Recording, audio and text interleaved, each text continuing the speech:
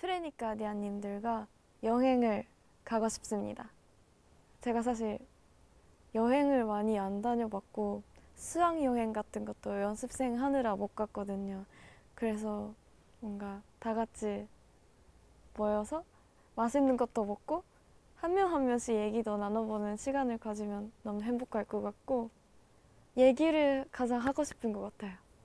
뭔가 직접 얘기를 할 수 있는 기회가 없으니까 이 상황 때문에 차 안에서 만나고 조금밖에 못 만났기 때문에 기회가 있으면 더 많은 분들을 뵙고 싶고 얘기를 하고 싶어요.